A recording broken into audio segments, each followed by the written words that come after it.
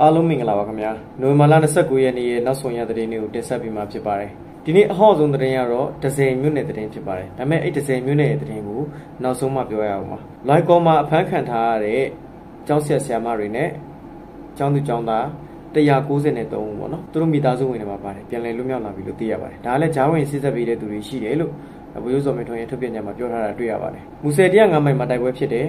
အလောင်းလက်နဲ့ရရှိရရှိတယ်တိုက်ပွဲကတော့ဒါမူစေတရ9မိုင်ပတ်ဝန်းကျင်မှာပုံမှန်တိုင်းဖြစ်နေစေဖြစ်မှာပါပဲဘာကြောင့်လဲဆိုတော့နောက်ခမ်းမှာရှိတဲ့ TNR အုပ်စုတွေကဒါမူဆယ်ကိုတောက်ကူနေတယ်လို့ကျွန်တော်တို့သိရတယ်ဒါကြောင့်မလို့မူဆယ်မှာတိုက်ပွဲတွေဖြစ်လာနိုင်ကြီးရှိတယ်မူဆယ်ရဲ့အဆက်တွေမှာရှိတဲ့လူမျိုးရေးကင်းစခန်းတွေတိုက်ခိုက်ခံရနိုင်ကြီးရှိတယ်လို့ကျွန်တော်ပြောချင်ပါတယ်ခင်ဗျာ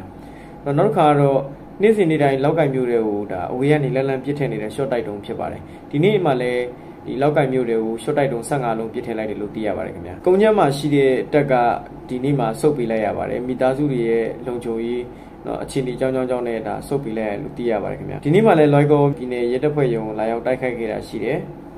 ။ရဲတပ်ဖွဲ့ဝင်တွေနဲ့တမတော်သားတွေကရွရွချွန်ချွန်တိုက်ခိုက်နေသေးဖြစ်ပါတယ်။ Loico မြို့နယ်မှာလည်းတိုက်ပွဲတွေဖြစ်ပွားနေသေးဖြစ်ပါတယ်ခင်ဗျာ။ ဒီနေ့ထူးခြားတဲ့သတင်းလေးနောက်တစ်ခုကတော့ဒါ RCSS နဲ့ SSPP ရဲ့အပြစ်ခတ်ရဲစဲရေးဆိုင်ရာသဘောတူညီမှုစာတစ်စောင်ထွက်လာတယ်ပေါ့နော်ဒီပေါ်မှာလည်းကျွန်တော်တို့အင်ပတန်မှဒါဝမ်းသာစရာကောင်းတယ်လို့ထင်ပါတယ်ကျွန်တော်တို့အနေနဲ့ဒါကိုကြည့်ပြီးတော့ကြည်နူးမိပါတယ်ရှမ်းအဖွဲ့နှစ်ဖွဲ့တဲ့တယ်ပေါ့ဘာကြောင့်လဲဆိုရှမ်းပြည်နယ်မှာအခြားအဖွဲ့တွေကလာပြီးတော့ဒီလိုစိုးမိုးပူကြနေတာရှမ်းပြည်သူလူထုရဲ့အသက်အိုးအိမ်စီးစိမ်ကိုဒုက္ခပေးနေတာကိုကျွန်တော်တို့ကကြည်နေရတာစိတ်မချမ်းသာပါတော့ ရှမ်းအဖွဲ့တွေအနေနဲ့တင့်မြတ်တယ်ဆိုလို့ရှိရင်တော့ကိုယ့်မြေပေါ်မှာတောင်းကျမ်းနေတဲ့ဘယ်သူ့ကိုမဆိုဒါနိုင်ငံတော်အစိုးရနဲ့အတူတကွလက်တွဲပြီးတော့ဖယ်ရှားရှင်းလင်းမှုလိုအပ်ပါတယ်လို့ကျွန်တော်ထင်ပါတယ်ခင်ဗျာဒဇယ်မြို့နယ်ဖြစ်စဉ်ကတော့မနက်အစောပိုင်းမှာဒီရေဦးဒဇယ်အဲ့ဒီကအဖွဲ့တွေအကုန်လုံးကဒါဒဇယ်မြို့ကိုလာပြီးတော့တိုက်ခိုက်ကြတာဖြစ်ပါတယ်ဒီသတင်းကိုကြိုတင်ရရှိထားတဲ့ဒီလုံခြုံရေးတပ်ဖွဲ့ဝင်တွေကလည်း ဒါအသင့်စောင့်ဆိုင်ပြီးတိုက်ခိုက်တာဖြစ်ပါတယ်စောင့်ဆိုင်ပြီးတိုက်ခိုက်တာကသူတို့လာတဲ့လမ်းကြောင်းနဲ့ဒီတွက်ချက်မှုမှန်ကန်သွားတဲ့ခါကျတော့အထိကိကြဆုံးမှုများပြားခဲ့တယ်လို့ကျွန်တော်သိရပါတယ်ခင်ဗျ။ဒဇယ်မျိုးနေရတကယ်တော့ဟိုလာရောက်တိုက်ခိုက်တဲ့အချိန်မှာလုံခြုံရေးတပ်ဖွဲ့ဝင်တွေကအသင့်ပြင်ထားတာလည်းပါတယ်ပြည်သူစစ်အဖွဲ့တွေကလည်းရွရွချွန်ချွန်တိုက်ခိုက်တာလည်းပါတယ်နောက်ပြီးတော့ဒီစစ်ကူသွားတာတွေလည်းမှန်တယ်ပေါ့နော်အချိန်အချိန်နဲ့တပြေးညီ right time ရောက်သွားတဲ့အချိန်မှာဒါ ပိတ်မိသွားတဲ့အနေအထားဖြစ်ပါတယ် NLD အမတ်ဟောင်းမြစ်ထွေးဦးဆောင်တဲ့အဖွဲ့ပေါ့နော်မြစ်ထွေးရဲ့နန္ဒဝင်းသူတို့အဖွဲ့တွေဟိုသူတို့တွေဥဆောင်တဲ့ဖွဲ့သူတို့ကရေဦးသားတွေပေါ့ဒါပေမဲ့တစယ်ကိုတိုက်တဲ့အချိန်မှာသူတို့ကသွားတိုက်တယ်လက်နက်ကြီးကြတာတွေရောလေရင်ပစ်တာတွေရောဒီ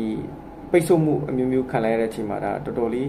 ကစင့်ကလေးအားနဲ့ဒါထွက်ပြေးသွားတဲ့အနေအထားရှိပါတယ်အခုထွက်ပြေးသွားတဲ့အချိန်မှာလည်းဒါရွာတွေအထိကို ဒါလိုက်ပြီးရှင်းလင်းနေတယ်ပေါ့နော်ကျွန်တော်တို့ဒါဒါနဲ့ပတ်သက်ပြီးတော့သတင်းတွေကဒေါ်လာစားမီဒီယာတွေကတော့ပောက်ခဲ့ရတယ်ကျွန်တော်တို့ကနေမီနဲ့ဖုန်းရတယ်နေမီကပြောတယ်ဒီလိုဒီကြောင်းရှိတယ်ဘယ်ရွာပြီးသွားတယ်ဘယ်ရွာပြီးသွားတယ်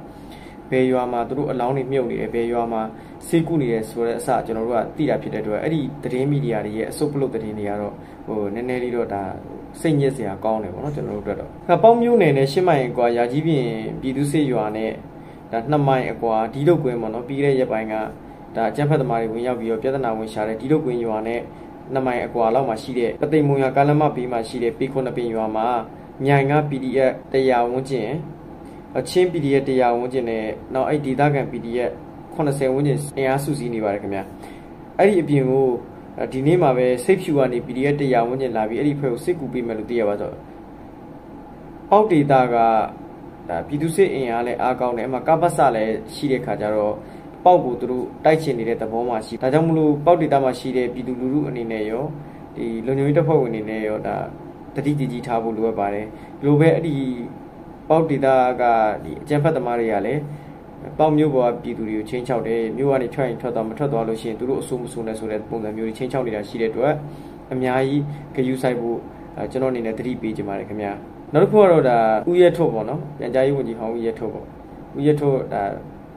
ထောင်10နှစ်ကြာသွားတယ်ပေါ့10နှစ်ကပုံမှန်တစ်ခုနဲ့ကြာတာဖြစ်ပါတယ်တစ်ခုကတော့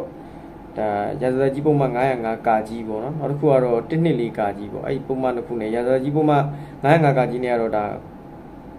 3နှစ်ပေါ့နော်1နှစ်လေးကာကြီးနေရတော့9နှစ်အတီးတီးထောက်ချခံခဲ့ရတော့ကျွန်တော်ရုပ်သံလေးကြည့်ရှုပေးတဲ့အတွက်ကျေးဇူးတင်ပါတယ်ခင်ဗျာကျွန်တော်ရဲ့သတင်းတွေဦးဖျားဖတ်ကျင်တယ်ဆိုလို့ရှိရင်တော့ကျွန်တော်ရဲ့ Telegram Channel ကို Subscribe လုပ်ထားလို့ရပါတယ်ကျွန်တော်ကိုကူညီထောက်ပံ့ကျင်တယ်ဆိုလို့ရှိရင်လည်းကျွန်တော်ရဲ့ဖုန်းနံပါတ်ကို TikTok YouTube နဲ့ဒီ Telegram Channel တွေရဲ့ bio မှာကျွန်တော်ရေးထားတာဖြစ်ပါတယ်အဲ့ဒီဖုန်းနံပါတ်တွေကနေတစ်ဆင့်လဲကျွန်တော်ကိုသတင်းပေးပို့နိုင်ပါတယ်ခင်ဗျာကျေးဇူးအများကြီးတင်ပါတယ်ခင်ဗျာအားလုံးပဲအေးချမ်းကြပါစေ